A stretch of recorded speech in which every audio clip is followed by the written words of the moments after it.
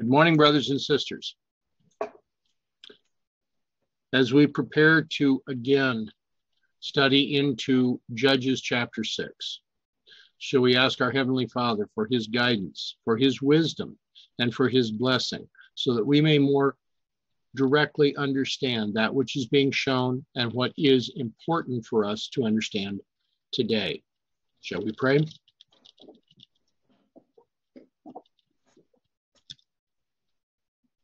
Gracious Father in heaven,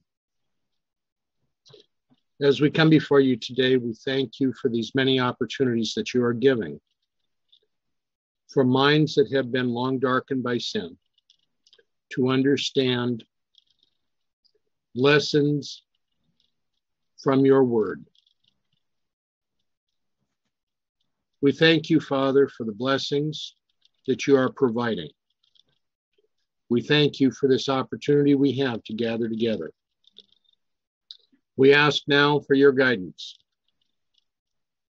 so that we may understand your word, that we may eat your flesh and drink your blood, and may come so that we may more directly be able to offer these lessons to those within this dying world. May your spirit guide us. May your angels attend us. Help us now that our minds may be open and ready and willing to receive the lessons that you would provide us. For this we ask, for this we pray. In Jesus' name, amen.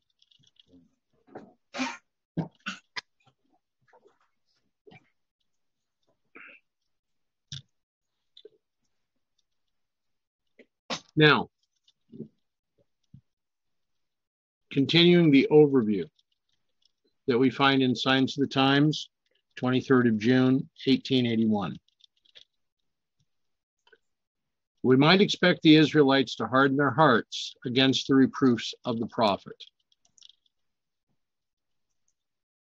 We listen to hear them respond. We do not wish to be continually reminded of our sins.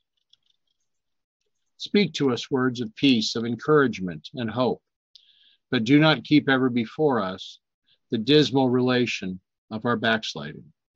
How often do the pro- professed people of God at the present day turn away from instruction and neglect oft repeated warnings? They dislike to be reminded of their defects of character. They are unwilling to be reproved for their pride and their idolatry and turning from the requirements of God to seek the gains, the friendship, or the pleasures of this world. How often in the movement today are we offended by others that are much like ourselves? One of the points that Mrs. White is very direct upon is something that my mother has said to me many times. The faults you see in others are those that most need correcting in yourself. And sometimes I think that what's happening within the movement is when we have someone that is showing a fault that we are holding on to, that we wish to run away from listening to them because we're too afraid that we might have to give up our own faults. Such was the manner in which some of the Israelites received the message of reproof.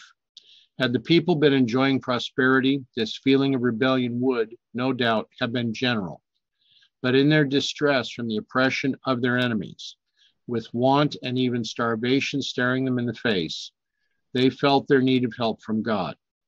They knew that unless He, whom they had so dishonored, should manifest His power for their deliverance, they must perish. In deep humility, they accepted the message of reproof, confessed their sins, and implored the mercy of the Most High. Their prayers were heard, and again the Lord sent forth the man of his choice to act as a deliverer for Israel. The one thus selected was Gideon of the tribe of Manasseh. The Midianites had swept like a devouring plague over the land. It was only with the greatest difficulty that the Hebrews could secrete sufficient food to save them from actual starvation. Gideon had, however, retained possession of a small quantity of wheat, and fearing to beat it out in the threshing floor, he had taken it to the vineyard near the winepress. The time of ripe grapes was being far off. The attention of the Midianites would not be directed to that place. Sometimes I look at our morning meetings and our Sabbath meetings very much as a time of Gideon. Because if we were in the corporate church, would we be fed? Would we be given anything less than watered down milk, where at this time in Earth's history we need meat? As he thus labored in secrecy and silence, he sadly meditated upon the condition of Israel. Is that not what we find ourselves doing today? Are we not meditating upon not only the condition of the church and the movement, but our own selves? He thought of her glorious triumphs in the past of her present abject condition and of the still darker prospect for the future, and his spirit was stirred within him. With deep earnestness, he considered how the oppressor's yoke might be broken off from his people. To all appearances, this was impossible. The Israelites were disheartened and discouraged. They had dishonored God by their idolatry and they felt little confidence that he would work for them. Gideon almost despaired of inspiring the people with faith or courage, but he knew that the Lord would work mightily for Israel as he had done in the past. His whole soul cried out after God. He felt that although he might stand alone, Yet, if he had the assurance that God was with him, he would not fear to strike a blow against the oppressors. Any comments? Any thoughts?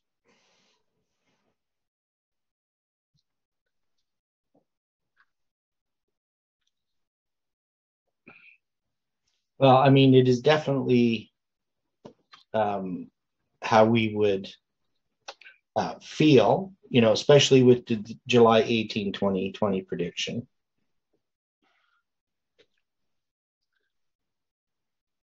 I'm looking not only at July 18, mm-hmm. I'm looking at December 6. I'm looking at all of the actions that have gone on since then. Yeah, yeah. yeah, so dealing with that prediction, um, that that would be how we would feel.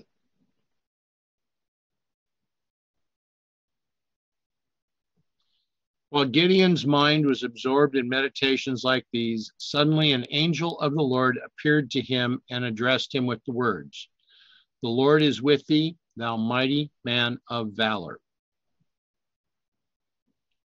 The melancholy nature of Gideon's thoughts. Oh, excuse me. Don't know why they did this.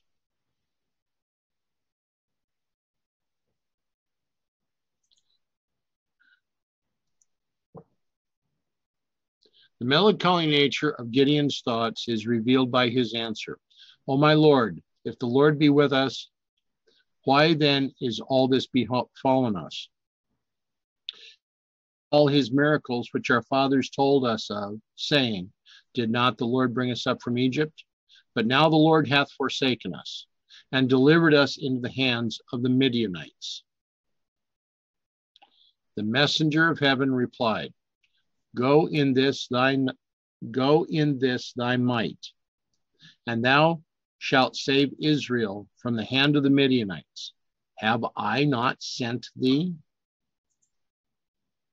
With a sense of his own unfitness for so important a work, Gideon exclaimed, O my Lord, wherewith shall I save Israel? Behold, my family is poor in Manasseh, and I am the least in my father's house. Then the angel gave him the gracious assurance Surely I will be with thee, and thou shalt smite the Midianites as one man. Gideon desired some token that the one now addressing him was the same that spoke to Moses in the burning bush. The angel had veiled the divine glory of his presence, but it was no other than Christ, the Son of God. When a prophet or an angel delivered a divine message, his words were, The Lord saith, I will do this. But it is stated of the person who talked with Gideon, the Lord said unto him, I will be with thee. Desiring to show special honor to his illustrious visitor, and having obtained the assurance that the angel would tarry, Gideon hastened to his tent, and out of his scanty store prepared a kid and unleavened cakes, which he brought forth to set before him. Gideon was poor, yet he was ready to use hospitality without grudging.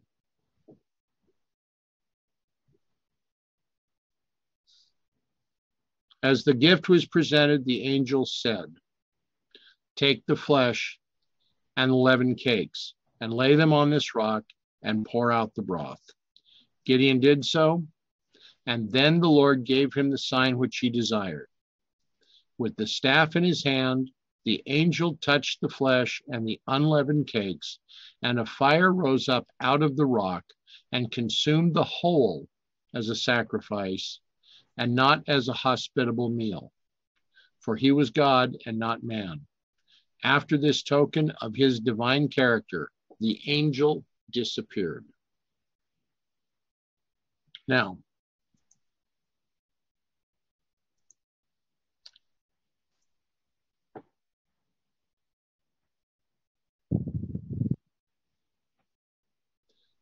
yesterday as we were as we were working through these verses we were having conversations.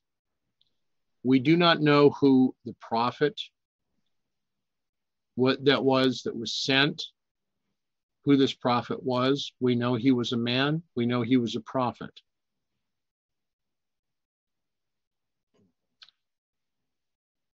In verse 8 that the lord sent a prophet unto the children of israel which said unto them, Thus saith the Lord God of Israel, I brought you up from Egypt and brought you forth out of the house of bondage. And I delivered you out of the hand of the Egyptians and out of the hand of all that oppressed you, and drave them out from before you, and gave you their land. And I said unto you, I am the Lord your God. Fear not the gods of the Amorites, in whose land you dwell that ye have not obeyed my voice. How do we apply the admonition that ye have not obeyed my voice to us, to ourselves today?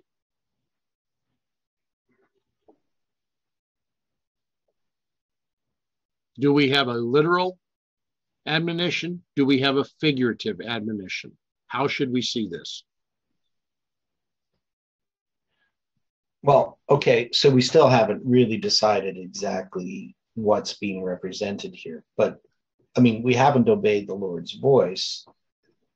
I mean, it's not a literal voice, it's his word. But um, so I'm not sure what you mean by literal or spiritual. Okay, we've got this whole section. We have not yet decided how this application is going to be made. So what how how should we go about this? Well, I mean, there's ideas that we have because we've studied Gideon before in the past. So Jeff had an understanding of, of Gideon. And then he made a further application of that when it came to uh, the July 18, 2020 prediction. And, you know, as we discussed yesterday, we know that um, at least my view is that this can't be just a reiteration of the other enemies. This has to be a different enemy that was left in the land. And in this case, it's going to be the Moabites. Right? Or the Midianites, I mean, Midianites. That's so this better. is going to, yeah, this is going to be the Midianites. I knew I was saying the wrong thing. Uh, the Midianites, which are um, a fairly close family relationship. And we're going to see it even gets closer as time goes in the next one. But um, now these, of course, are the groups that are on the other side of the Jordan, you know, on the east side, not on the west side. And so there has to be something to that because we've had these different locations. Um, where we have these judges being raised up. We also have uh, the seven years symbolism. So I, I, would, you know, place this in connection with, of course, July 18th and um, that part of the message. And we know that he's going to be whittled down. So there's a whittling down. So exactly where this would start and exactly what error it is that's being addressed, what false message is being addressed, and what the true message is. Um, I mean, it's going to take time to sort through that. But I, I think, as far as not obeying God's voice, I mean, this would be something within the movement again. I'm not disagreeing. Right. So we would have to figure out exactly what it is that was not being obeyed and of course, this other prophet um, who is given this message that this message then is based upon. So this, it means this message follows another message. So it could be the second angel's message. All right. Right, which which would be this movement, uh, the aspect of this movement after 9 11.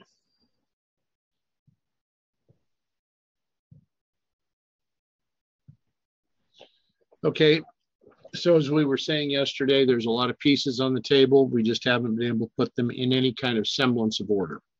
Mm-hmm.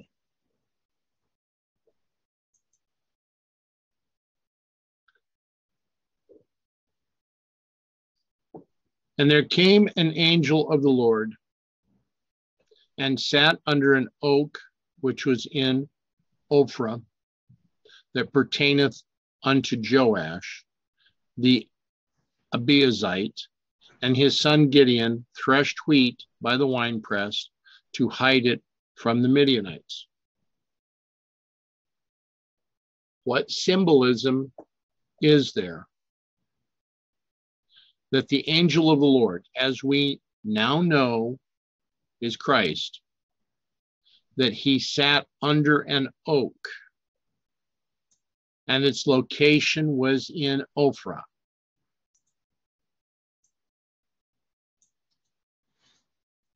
What can we determine from this? Okay, so I think we had done something with this before, but I can't remember what it was. So I guess it's good we're going over this again.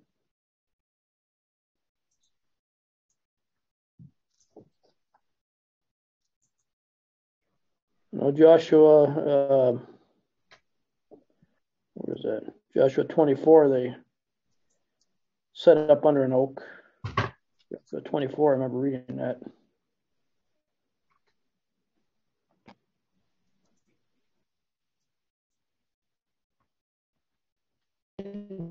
First Kings, First Kings 13, the man of God from Bethel was beneath an oak, right? or was it the disobedient prophet he found beneath an oak? oak. Oh, it's one or the other. I think our problem is we don't believe sometimes that God is actually presenting these truths to us. And because we receive ridicule and disdain and rejection from, from others, we have to have a constant assurance that it's God who's giving us these, these truths.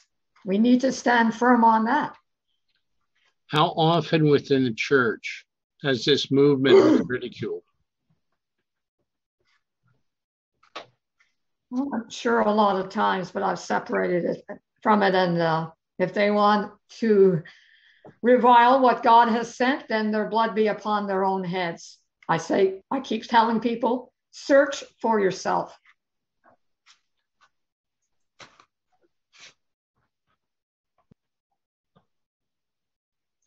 Okay, so we're we're seeing that the angel of the Lord, the messenger of the Lord, Malach, Hebrew 4397.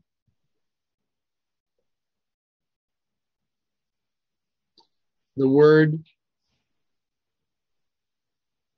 also can mean a prophet, a priest, or a teacher, but also ambassador, angel, king, or messenger. What were the roles of Christ? Or should I say it this way? What were the roles of Samuel? Samuel was prophet, priest, and judge, wasn't he? Yes, he was. So, what were the roles of Christ? Prophet, priest, and king. Right. So, this word being given here, this angel of the Lord, is foreshadowing Christ's coming to the earth as prophet, priest, and king. He sat under an oak.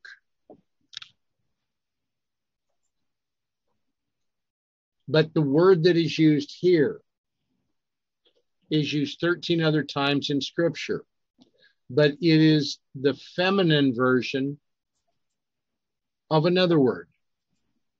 So, why would Christ sit under something that is described in the feminine?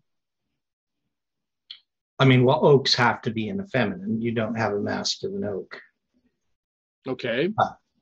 So I don't know if that makes much of a difference here.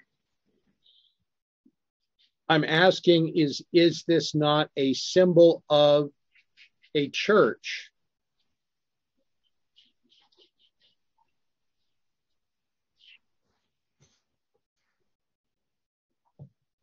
How would you see it?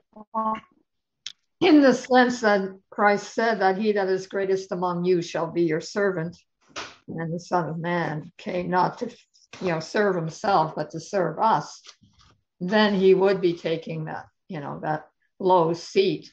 He gave an example of people that take the high seat and exalt themselves and they're brought low. So he that will lead others must be servant of all. And Christ so is that.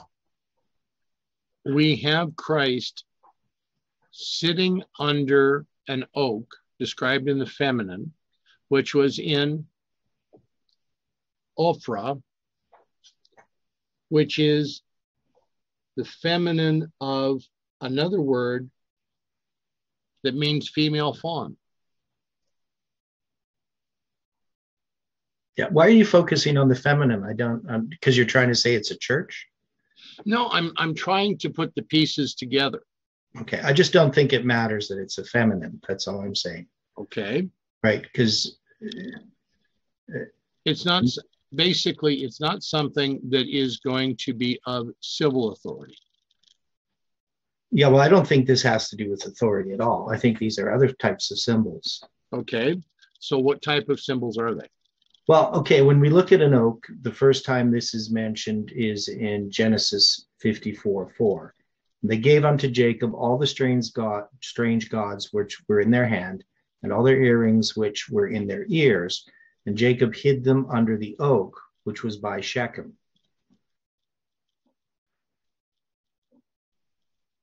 So that's the first time we have oak. Now we have oak mentioned again the second time in Judges 6:11, Judges 6:19, and then you're going to see it again in Second Samuel and First Kings and Chronicles and Isaiah and Ezekiel. Um, so so those are and then in Hosea and Isaiah it's called uh, an elms in Hosea was Hosea I mean and in Isaiah it's going to be uh, a teil tree. So okay, so in this in the first instance that we find this with Jacob, where he removes the idols, the earrings, etc., and puts them under the oak at Shechem. Yeah. Is that an area that pertained to Judah, or was that an area that pertained to Manasseh? Um, Shechem is. Uh, um, let me see here. Can't remember. Manasseh. It's it's located in the valley between Mount Ebal and Mount Gerizim. Okay. And Ophrah. Okay. They're both in Manasseh. Um, yeah. So yeah, so they're both in Manasseh.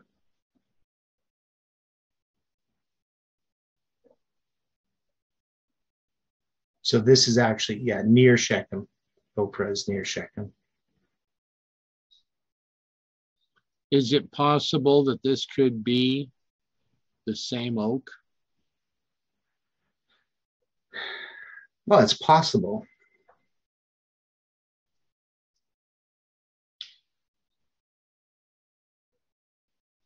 The symbolism here would be that Jacob removed the earrings and removed the idols from his family.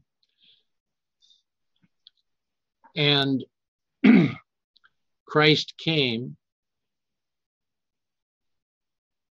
because the children of Israel had again accepted the idols mm-hmm. that they were supposed to, to have abandoned. Yeah, because that's what this story is going to be about.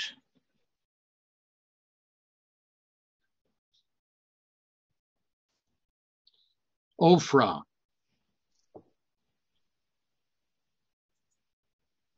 In this situation, as I said, as a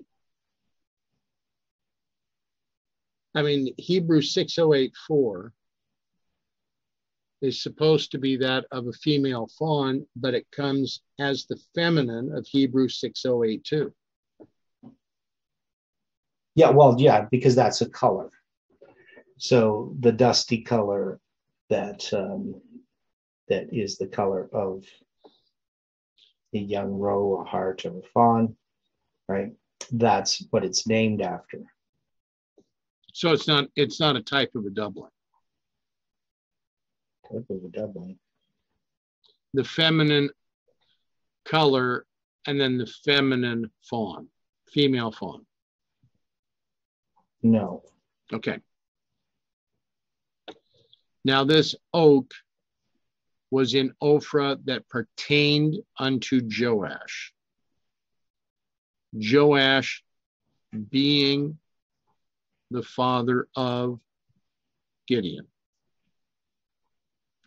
What is the name of Joash's meaning and what is the symbolism of him being an Abiezrite? What do those names mean?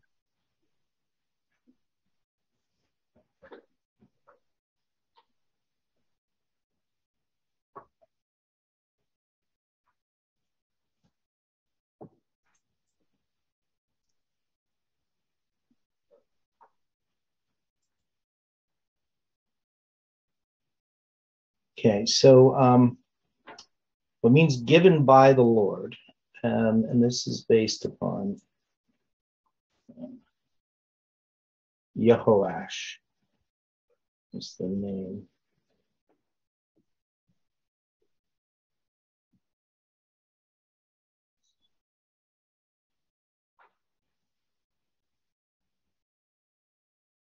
Those two Israelite kings. All right.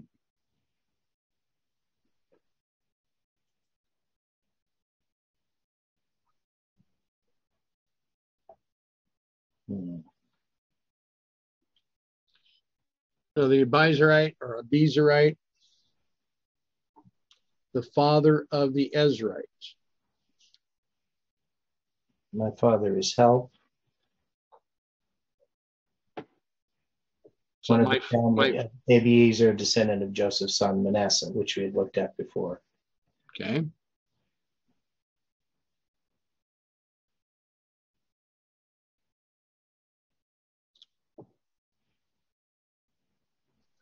So we have Gideon, who is a feller or a warrior. So this warrior is descended from the father of health.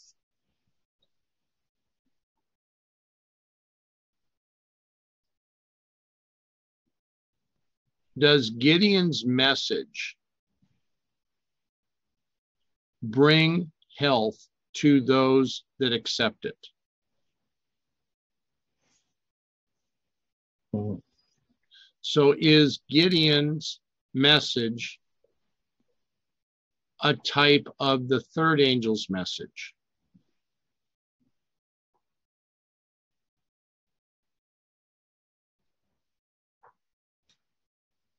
No, Okay. uh, it, this is the second angel's message still. At least that's my understanding of it. But, you know, I could be wrong.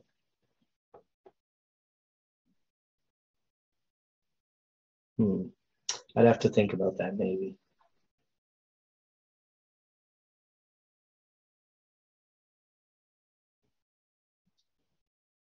Okay. So now, and the angel of the Lord, as we now know is Christ, appeared unto him and said unto him, The Lord is with thee, thou mighty man of valor. The translators would look, have looked at it in the following. They would have looked at Judges 13:3, Luke 1:11, Luke 1:28.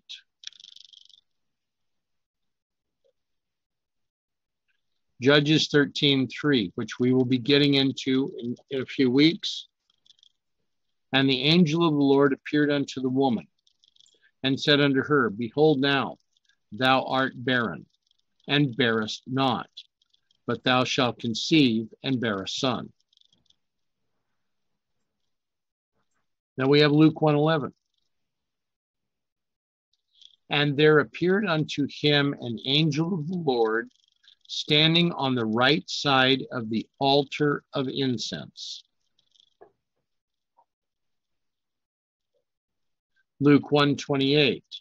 And the angel said unto her, and said, and the angel came into unto her and said, Hail, thou that art highly favored.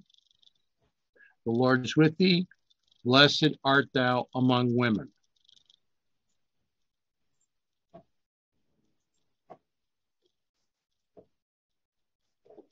Gideon is having the same experience.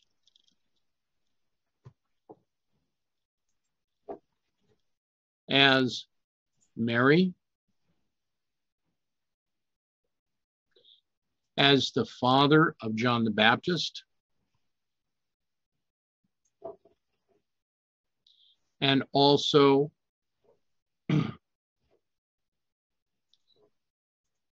I believe this is the mother of Samson, isn't it? In Judges 13:3.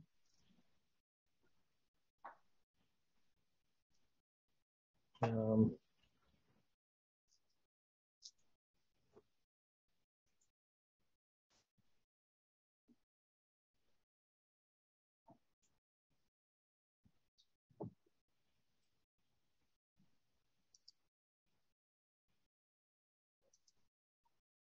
yeah. So in each case, something miraculous is, is happening here. Where Samson is concerned, this angel of the Lord appears unto the woman and said unto her, Behold, now thou art barren and bearest not. So it's a miracle that she had a child.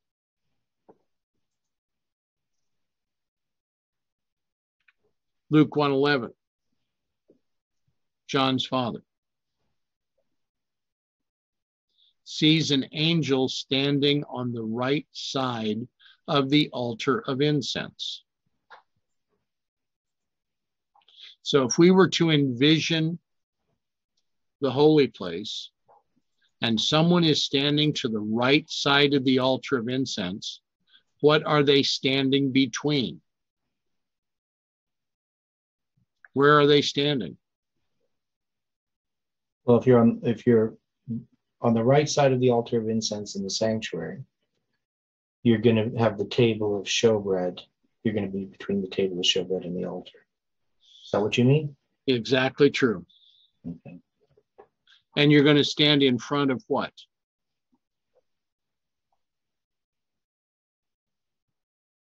Well, you're standing before the veil. Is that what you mean? I'm you're standing not only before the veil, but is that also not the entrance into the most holy? Yeah.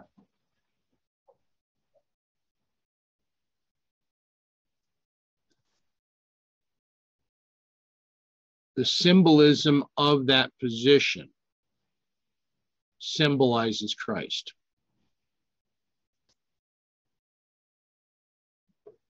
Because he is our intercessor, Therefore, he is by the altar of incense. He is our king because he is by the table of showbread.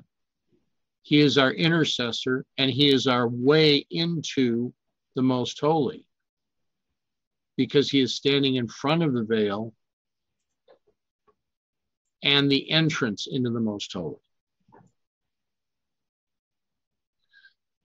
Each of these other verses are pointing out the miracles that are now occurring.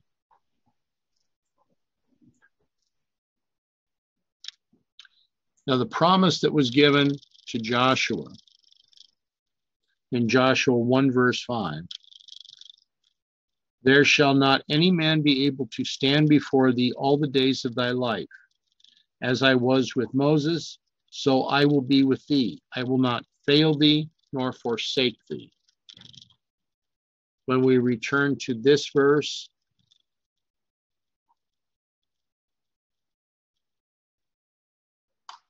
the promise that is given is the Lord is with thee. It is the same promise that was given to Moses, in leading the children of Israel. Here is Gideon today receiving this promise. He is being told that he is a mighty man of valor. Recording stopped. We'll give him a couple of minutes to come back up. Yeah. So on uh, my other computer, it says it's connecting. The one that's doing the recording. So. Okay. Um, so if you can just wait to see why. Well, my internet looks like it's okay. I'm not sure why it did that. I've been having major problems since I got up this morning really early with mine upstairs that supposedly was fixed yesterday. And I think it's an, an attack of Satan. I've been praying against it because the message I was about to post is very, very important on Facebook. And I just cannot do it right now. Okay. Okay, so for some reason my internet on my laptop is disconnected. I'm going to reboot my router, so we're going to be disconnected completely. Um, but this way I can keep the recording. So just keep your thoughts, uh, and I'll be right back. It'll be Right. kind of interesting to go back over this. I mean, as as we are, have been applying multiple times, that symbols can have more than one meaning. So as we have been going through this in this part of the study, I'm having to ask myself, is there a secondary or tertiary meaning to what we're finding here within the book of Gideon, or excuse me, the book of Judges, in the story of Gideon?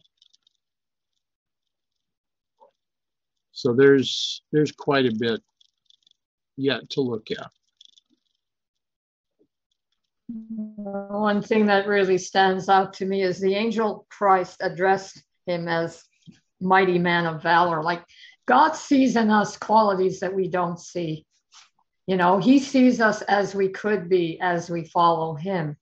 And that is so in, encouraging. But because we're weak and frail and human and of this earth, sometimes we have to have a sign of that that that assurance. We just don't take him at his word as we ought to. So he in his pity and patience will give us a sign. Right. It's a good point. But in this in this situation, it's also kind of interesting because when we're looking at Judges 6:12, we have a total of four different examples that are being shown where people miraculously have an encounter with an angel or with Christ.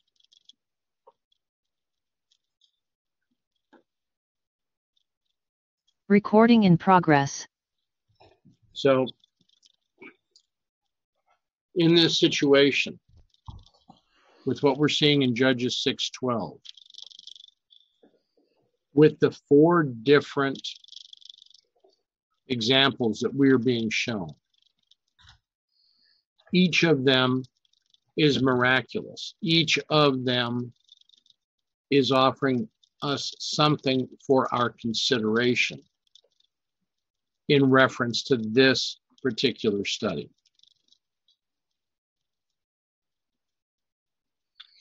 And Gideon said unto him, O my Lord, if the Lord be with us, why then is all this befallen us?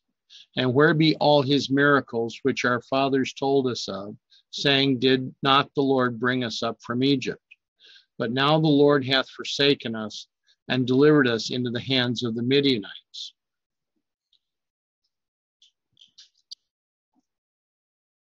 How much, and there's no other way for me to say this, how much chutzpah did it take for Gideon, not realizing who he's talking to, to say that the Lord has abandoned us when Christ was the leader of the children of Israel coming out of Egypt? I mean, yes, this shows the man's mental state at this time.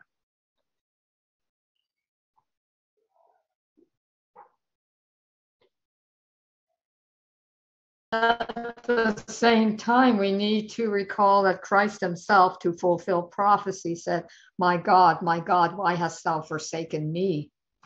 You know, even Christ cried out, My God, why have you abandoned me?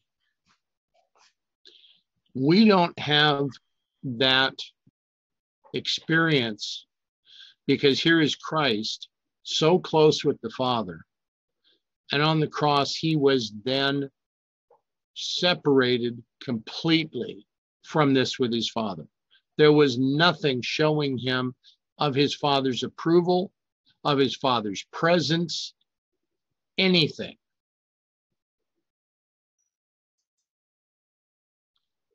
Now, in this movement,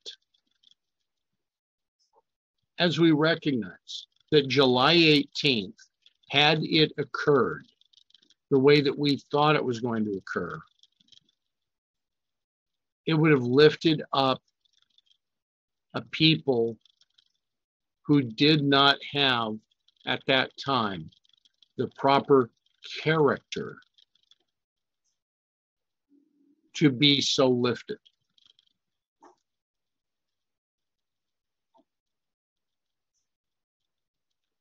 Here is Gideon.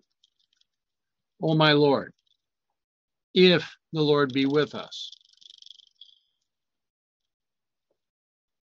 Saying this to Christ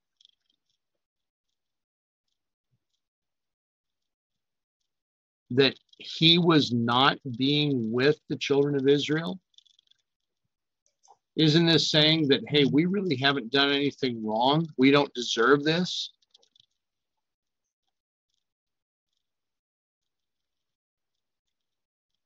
What else can we see from this verse?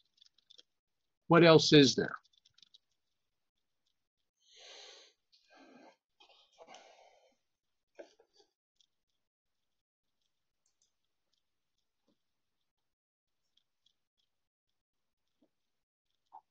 Had God forsaken them? Well, no, but um, okay. So Gideon's not really uh, like many of the people. They, he doesn't really understand what's happening, like how far they have departed. Right.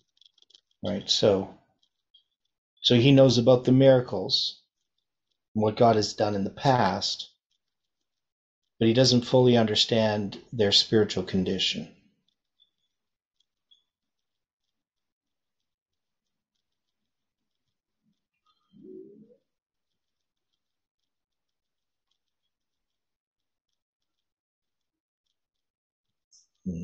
He doesn't understand their spiritual condition, yet he sees it all the way around him. But does he accept that? Hmm.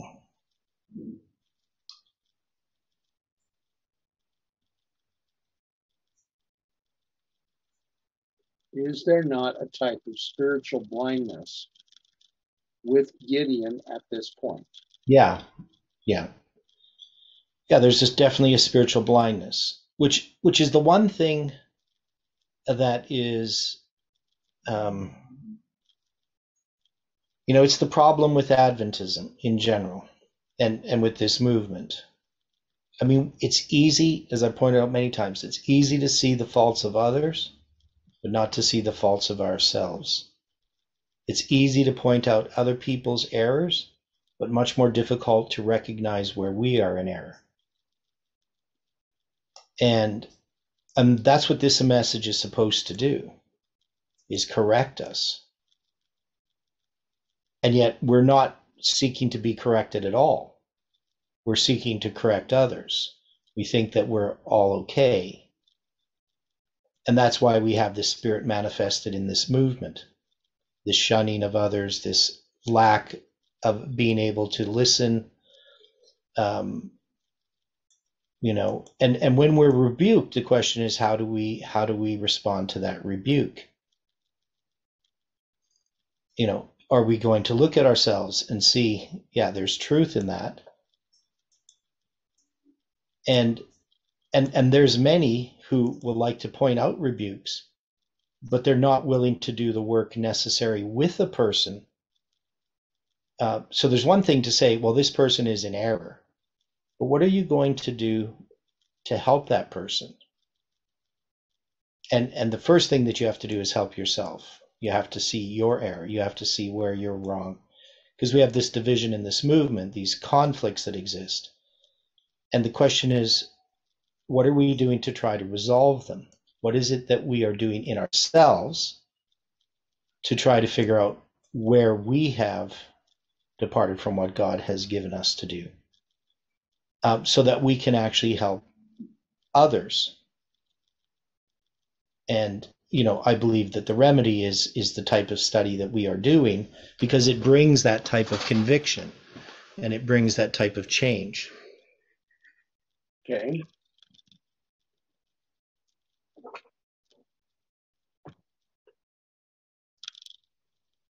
Is this spiritual blindness seen today within the movement? Mm-hmm.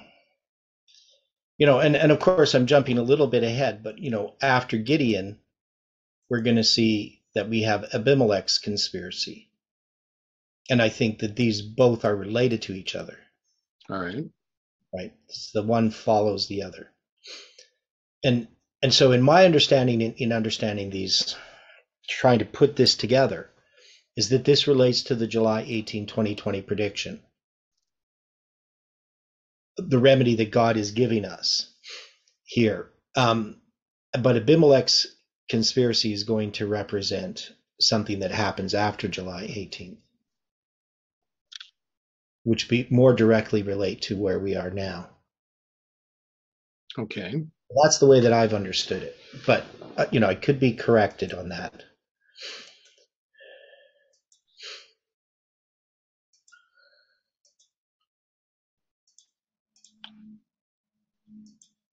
And the Lord looked at him and said, Go in this thy might, and thou shalt save Israel from the hand of the Midianites. Have not I sent thee? Now, the translators looked at this with the go in this thy might, and we're applying 1 Samuel 12 11. And this is a recap of what, what we're going to be studying right now.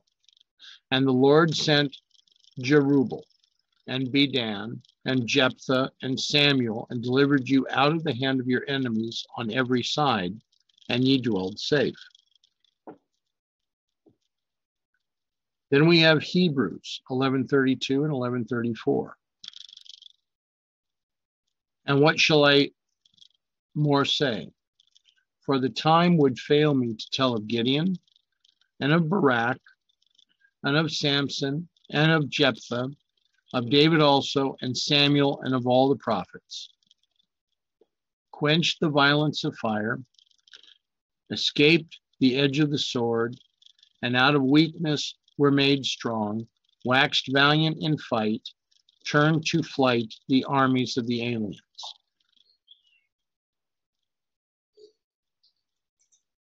Okay, so in in this um, here, so they have this list. So we know that Jer- Jerubbaal, that's Gideon, right? Right. So so it's just another way of saying Gideon. Bedan would um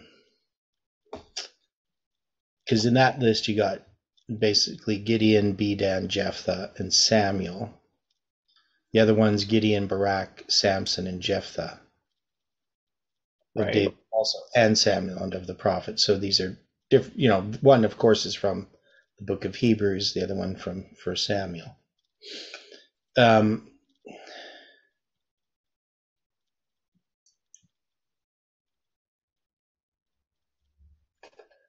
Because Bedan was the son, a son of Gilead, the son of Machir, the son of Manasseh. Right. But who is he? What's where's that story? We're only finding his name brought up here and in Chronicles. Right. Yeah. Now his name um, does mean a son of Dan. At least some people say that's what it means is a son of Dan, and some people think it refers to Samson and some also apply it to Barak.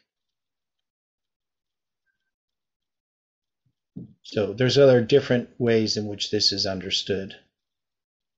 And some people put Samson instead of Samuel, some documents. So, um, I mean, it would make sense that he's Barak, but just another name for him.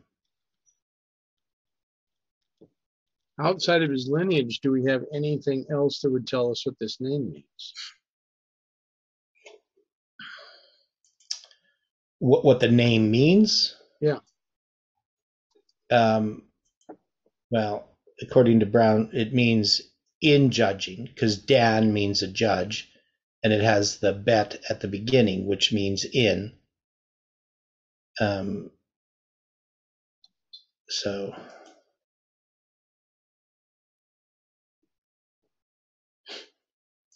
so that's all all we know about it.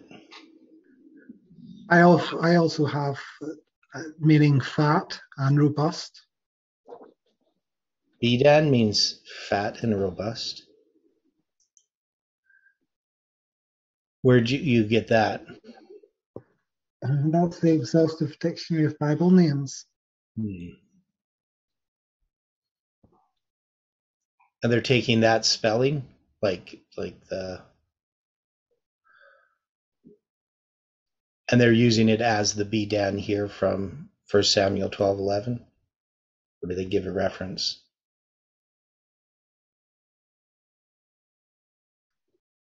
Just doesn't Yeah, it just sense. has the name Bedan. Yeah, I don't know. I don't see how it can fat unless you know there's some relationship to judging as being fat. But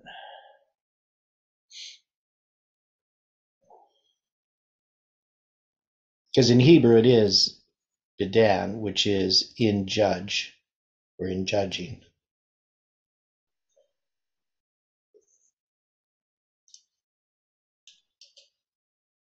Okay. Yeah, sometimes I'm never sure where these dictionary names gets their definitions. Wish they'd show the etymology.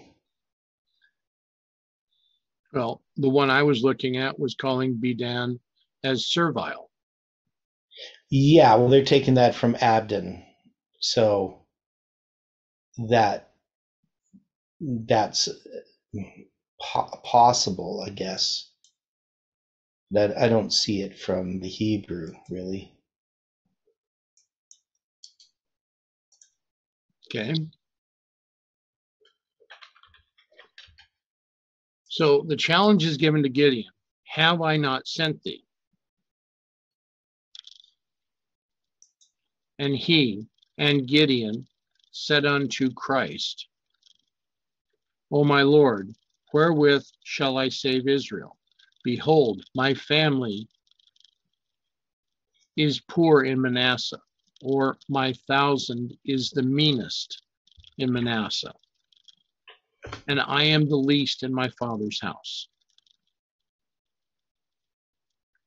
Why would he see himself as being the least in his father's house?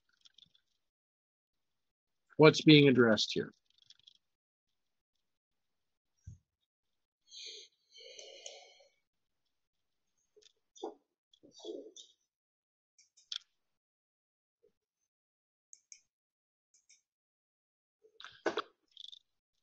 In preparing for this, there are several verses that the translators suggested be compared with what we're talking about here in Judges 6:15.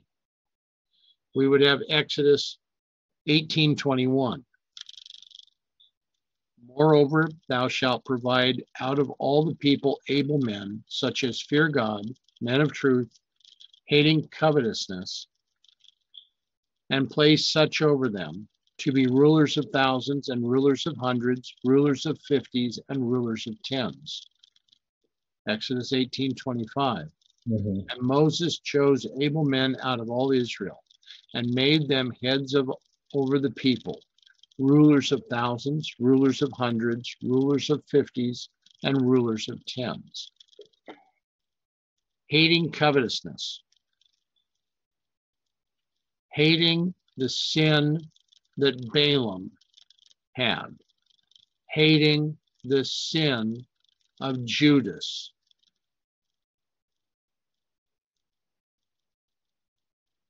Hating the sin of Achan.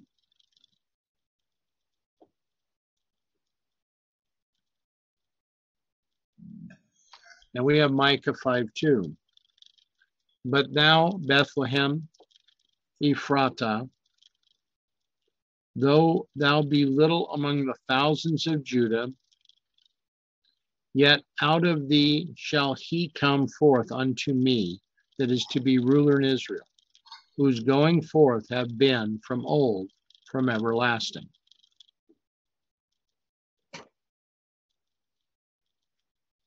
Moses was to choose able men that fear God to be their leaders, that hated covetousness. God chose out of Bethlehem the ruler of Israel, not the temporal ruler that they had hoped for, but the spiritual ruler that they needed. Here's Gideon. His family is not wealthy. His tribe is not powerful.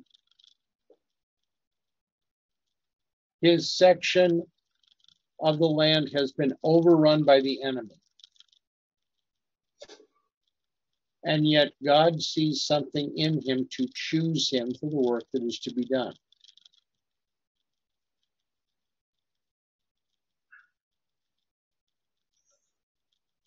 What applications can we place here?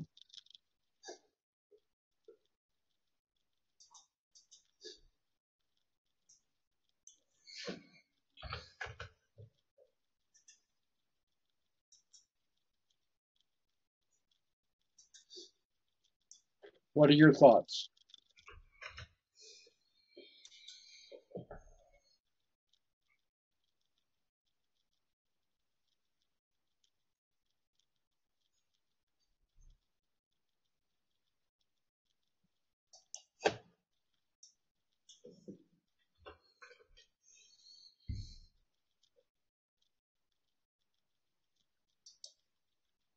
What direction can we take here?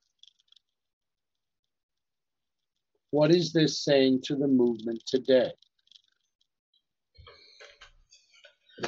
What is it saying to us personally today? Well, I mean, we're not looking for the great leaders of this of the church or whatever to to lead this movement. It's in the little things. Um, it's in the minority, I guess, uh, that truth will be found. Okay. Yes, we have connected it, or Jeff did, I think, to William Miller at the end of the Seven Times, ending 1798.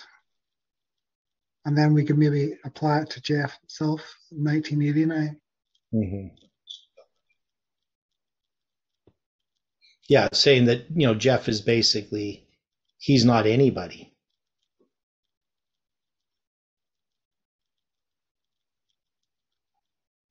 Correct? That, that's what your the application.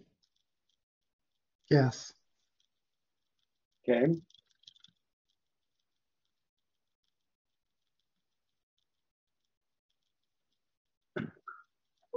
Miller, his word is as a name. He's separating wheat from tares, and you had Gideon there at the threshing floor doing the same thing. Although he was threshing, although it was in the uh, maybe it wasn't the threshing floor, it was where the, the vineyard was, the, the wine press. But it's definitely a message that does a separation. But it's a message, the separation here with this message is coming in the area of the wine press, of the area of the doctrine. The old looks like the old paths.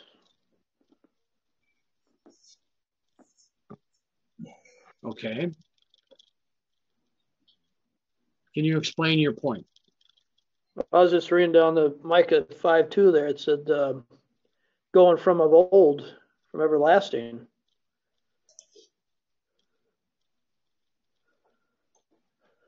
Well, I look at this where, where it's coming from the old and everlasting as being part of the gospel directly. Yeah.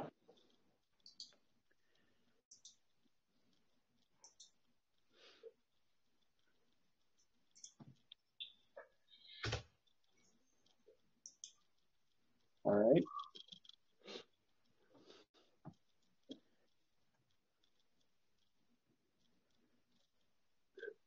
And the Lord said unto him, Surely I will be with thee, and thou shalt smite the Midianites as one man.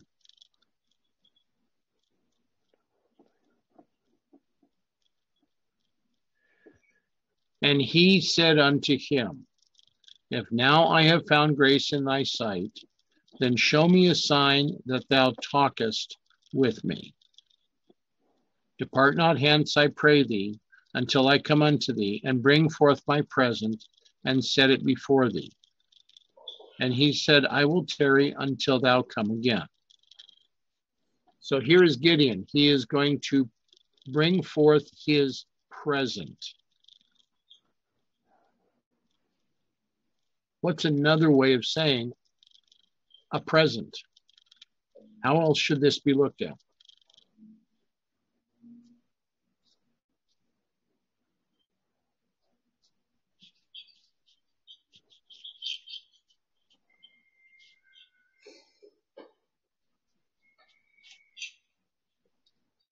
Isn't Gideon bringing an offering?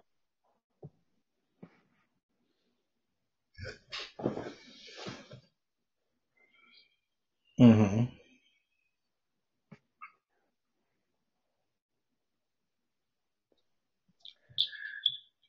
So he's bringing an offering. So, and Gideon went in and made ready a kid or a kid of the goats and unleavened cakes of an ephah of flour. The flesh he put in a basket, and he put the broth in a pot and brought it out unto him under the oak and presented it.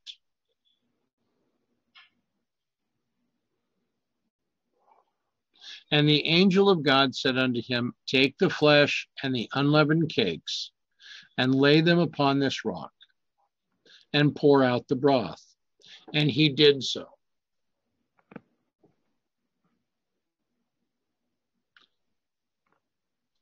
This is a symbol of what?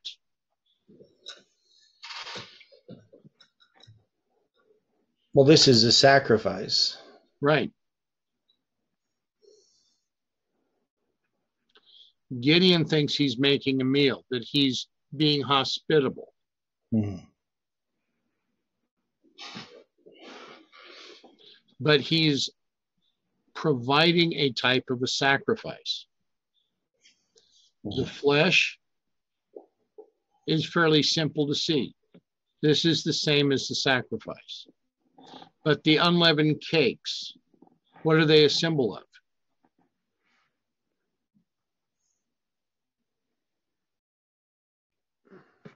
Uh, life with no uh, without sin, sin in your life.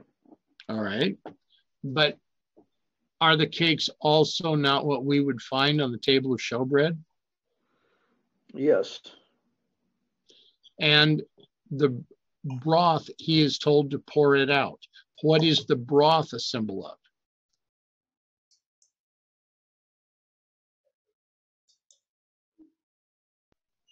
Christ's blood. I mean, and Christ calls us to present our bodies ourselves as living sacrifice. Right. And you pour out when when the blood is poured out, where is it poured out at?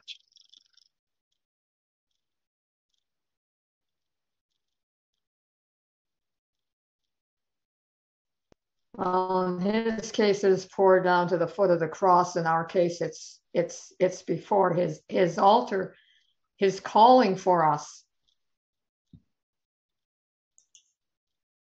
All right.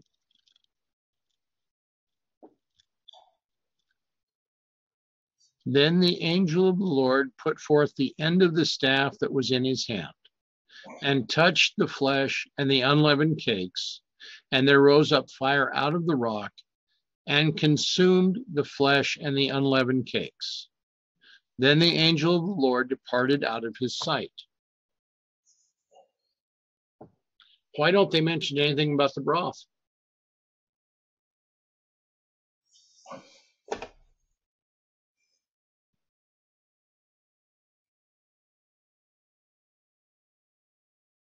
I mean, Christ does not touch any of this offering. He touches it with his staff. What does the staff symbolize?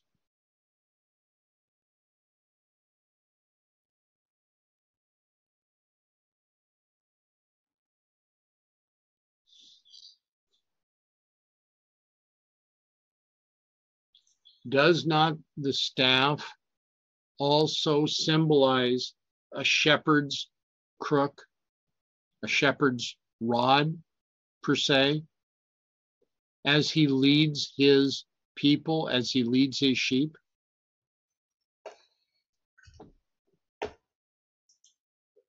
It could be his his his scepter too, and his his standard, his rules of guidance, right? The rod of thy rod and thy staff, they comfort me. Right. Rod guide and chastens.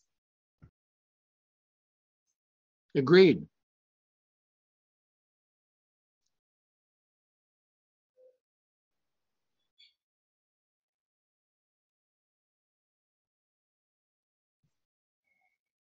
Here is Christ before Gideon, before a man that is questioning whether God is actually leading.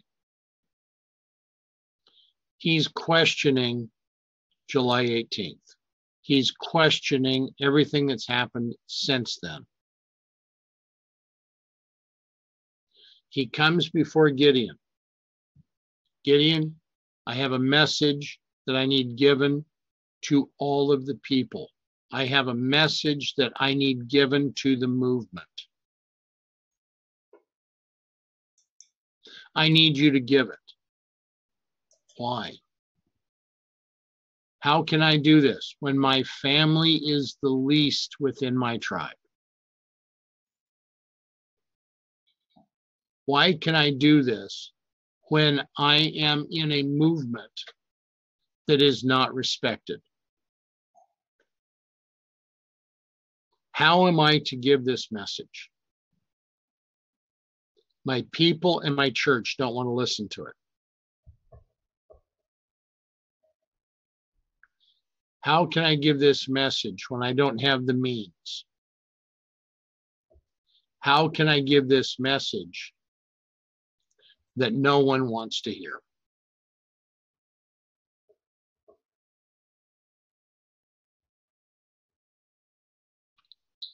How else can we approach this? In what other manner can we see?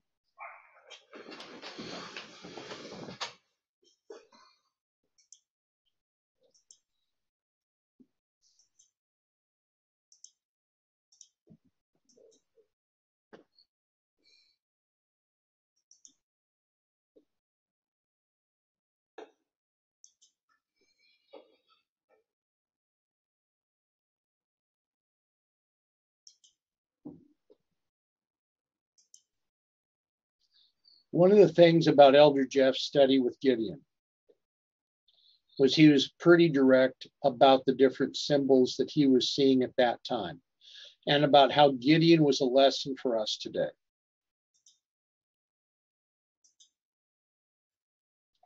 Does it still remain a lesson for us today?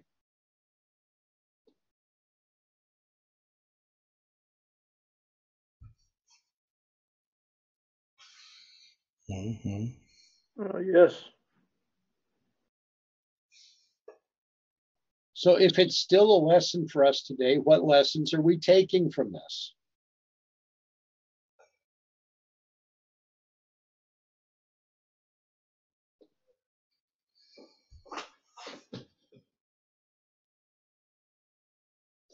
We Well, have. I- Go ahead. Yes.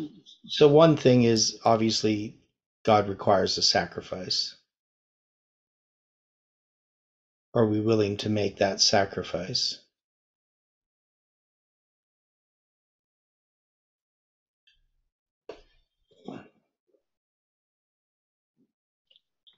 Where And we have to recall, sorry, Dwight, Dwight, um, was going to say that Christ came unto his own, but his own, it seemed no one received him, right? But yet at the end, and we read in Acts that many of the priests came to the faith So even though in the beginning our efforts are seem fruitless and it seems impossible, we have to believe that the message is of God.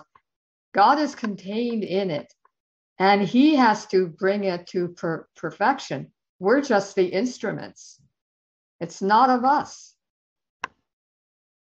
It never has been. Where was Gideon told to place the flesh and the cakes?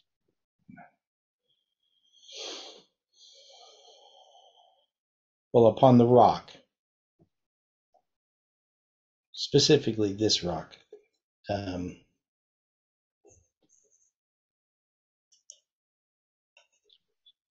What does the rock symbolize? For us Well- today, well, it would be the the charts, the messages from forty uh, to forty four. Ellen White says is the rock of ages.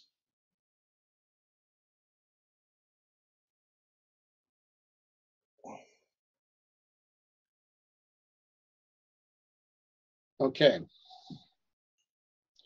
I was thinking that the rock was another symbol of Christ. Well, it is, but but Ellen White says that Christ is understood through through a message. You know, so in, in the sort of I mean, it's easy to talk about Christ, but she says, you know, Christ has to be presented to the people in types, in signs, in symbols, because that's how we understand him or know him. So the charts represent Christ. The messages that were given in Millerite history are, Ellen White says to her, that is the rock of ages. now we know it's Christ, but she's trying to make a point there we can't we can't reject the charts and the messages from Millerite history and not reject Christ.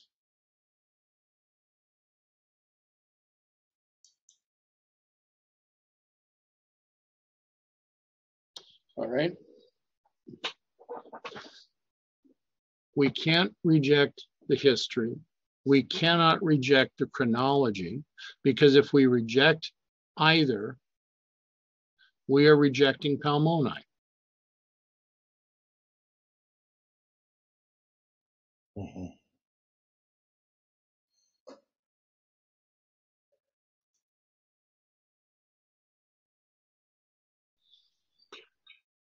The broth being poured out symbolizing Christ's blood.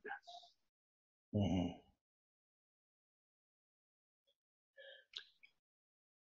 The broth being poured out symbolizing Christ's atoning sacrifice for our sins.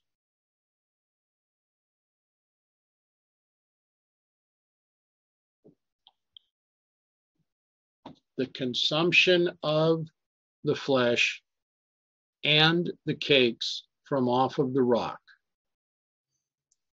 Is that not symbolizing God's everlasting power?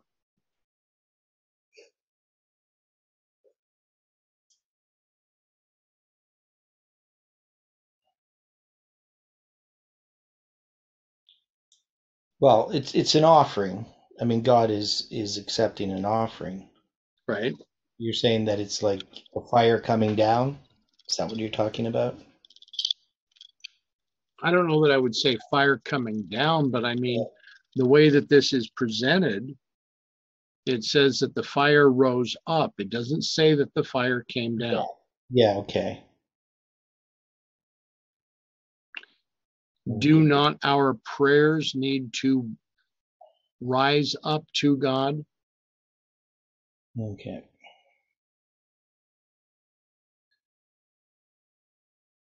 Are we not seeking for the dross to be consumed? Are we not seeking for our flesh, our sins to be consumed? Yeah. So this rock itself, the flames just come from the rock. Now it's kind of obscure, but seems like the the flames shoot up from the rock. So the rock starts on fire. Is, I mean, in the Hebrew, is that the way it's presented? Mm-hmm. Okay. Yeah, well, even in the King James, the the fire rose up out of the rock. Okay. You know the word, or from the rock.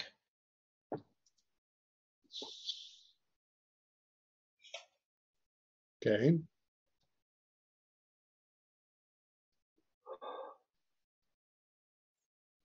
When we look at this,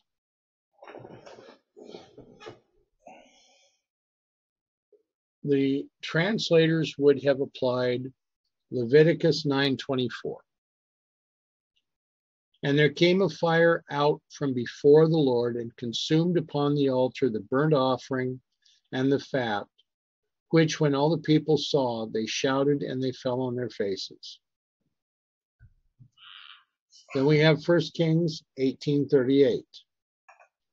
Then the fire of the Lord fell and consumed the burnt sacrifice, and the wood, and the stones, and the dust, and licked up the water that was in the trench. Here we have Elijah before the people. And in Second Chronicles 7 1, now when Solomon had made an end of praying, the fire came down from heaven and consumed the burnt offering and the sacrifices, and the glory of the Lord filled the house. Here is Solomon at the dedication of the temple. But in this case, the Hebrew is saying that there rose up fire from out of the rock. That seems to be the Hebrew translation into English. So we're not talking about a fire coming down, we're talking about a fire going up.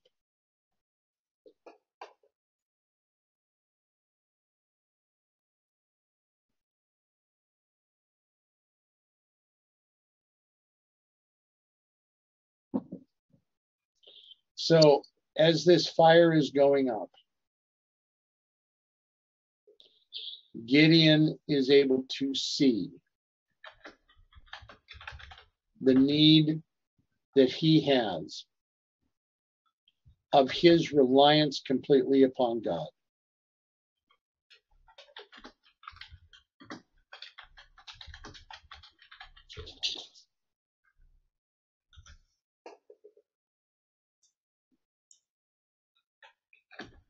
Any problems with this example?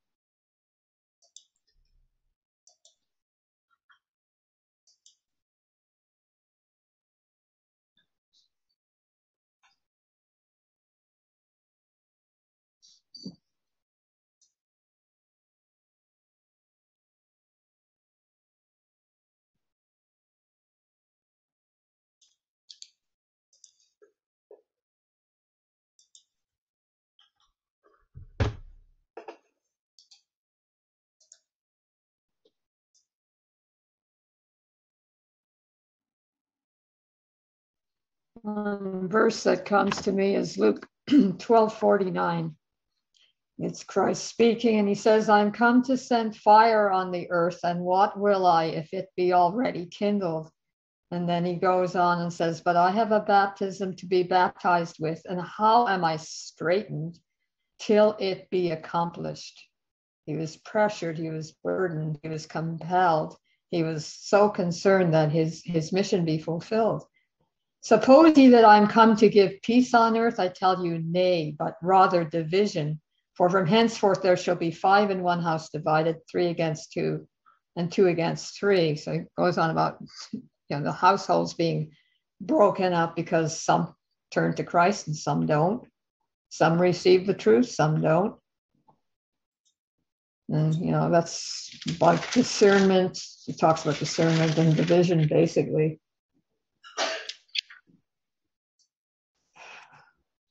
This isn't a happy message. It's not a feel good message.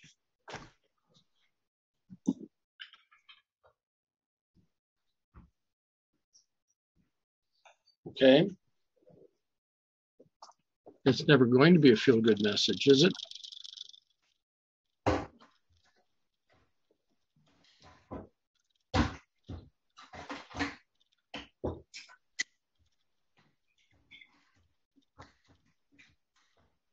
Is this ever going to be a feel good message?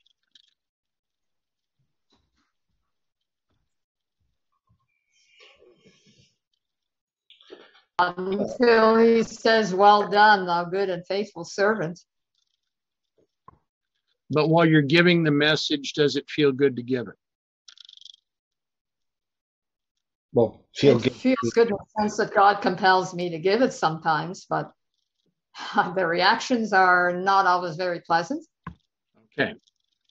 I don't know. I don't know what you mean by feel good giving the message. I mean, a feel good message is a message that's given to people to make them feel good.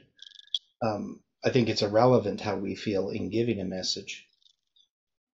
True. But if you go into your most of your local churches, that's what they want smooth things. Yeah, I understand. So, but it, I'm just saying that the person giving the message, it's not about, it's not when you talk about a feel good message, it's about the people receiving the message, not the people giving the message. Okay. Like, that's all I'm saying. All right.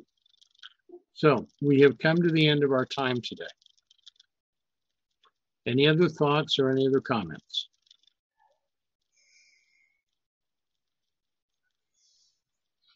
Well, it's going to take us a while to get through this section dealing with Gideon, Sure. even though we've gone through it before.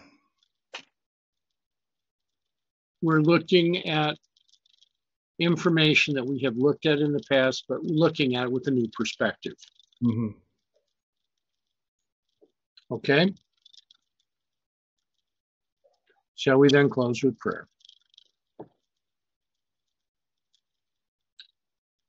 Gracious Father, we thank you for this time that we've spent together today. We thank you for your watch care and your blessing in keeping this session together so that we have been able to share with other like minded believers. Be with us today in all that you would have us to do. May your will be done. May your character be shown to all those with whom we come in contact. Be with us now, guide us, so that your will may be done and your character may be shown to all, and that we may become fit for your robe. For this we ask, for this we pray, in Jesus' name. Amen.